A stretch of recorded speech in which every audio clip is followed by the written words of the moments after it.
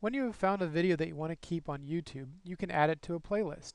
To do this, make sure you're logged in and then click the Add To button underneath of the video. It will display a list of all of your current playlists. This particular video is a video of the Diary of a Wimpy Kid trailer, so I want to add it to my movie trailers. So all I need to do is add it to my movie trailers playlist. You can see here that I already have two.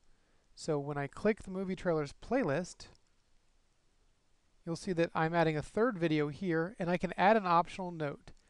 And this is the original Wimpy Kid movie trailer. Click on the blue add a note button and now I've got three videos in my movie trailers playlist. I can also create a brand new playlist by clicking in the box at the bottom and typing the name.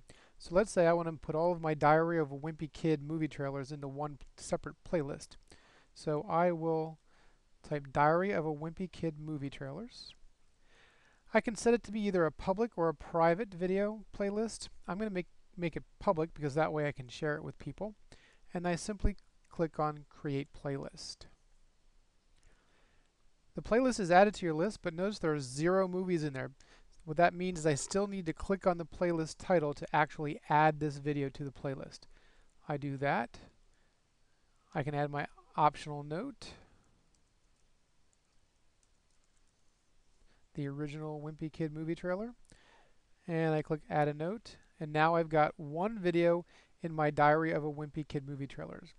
Try to resist the urge to click this again because you won't actually see your playlist. You'll just add the video a second time. To illustrate this, I'll click it one more time. And notice it changes to the number 2, and I can click Add a Note. So now I've got 2, but it's actually the same one. So just as a side note. And that is how you add a video to a playlist.